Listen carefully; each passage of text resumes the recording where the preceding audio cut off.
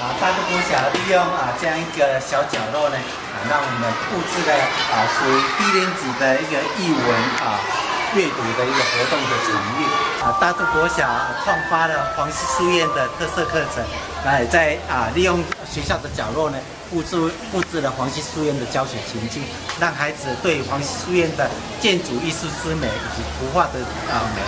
及黄溪书院跟大国小教育的历史渊源做个充分的连接，让孩子啊对这块土地啊更多的一个感情。